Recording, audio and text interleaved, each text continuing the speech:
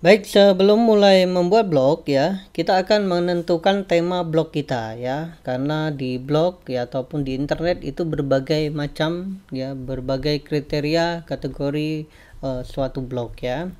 Oke, saya akan mencarinya di Google ya, jenis-jenis blog ya. Oke, jenis-jenis blog.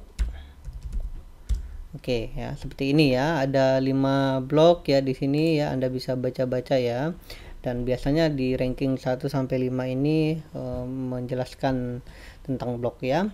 Oke, contohnya seperti ini ya. Uh, ada lima jenis blog ya. Pertama blog pribadi.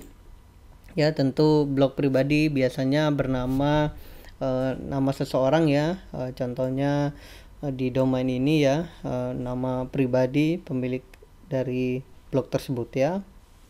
Kemudian ada blok otoritas ya, uh, itu adalah blok uh, tertentu ya yang akan dipublikasikan atau dikoneksikan dengan uh, sosial media ya seperti Facebook, Twitter, uh, Pinterest dan sebagainya ya.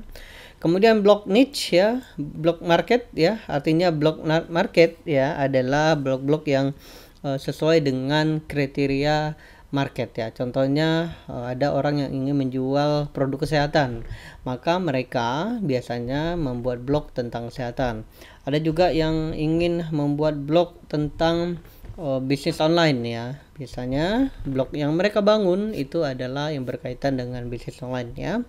Kemudian ada juga dengan dengan traveling ya, maka blog yang di buat mereka biasanya berkaitan dengan traveling ya tempat-tempat wisata ya dan mereka juga bisa uh, membuat uang di sana ya dengan bisnis lain ya bisnis uh, AdSense ya.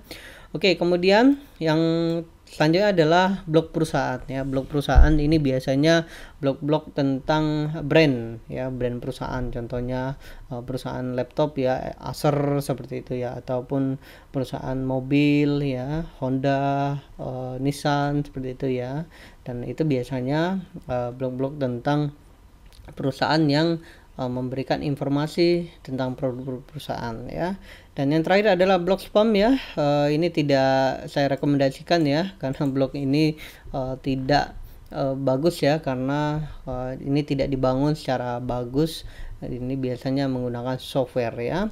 Oke, di video selanjutnya ya kita akan membuat blog niche ya. Kita akan ber, uh, saya akan mengajarkan kepada Anda ya bagaimana cara membuat blog ya tentu uh, kita akan menghasilkan uang dari blog kita ya.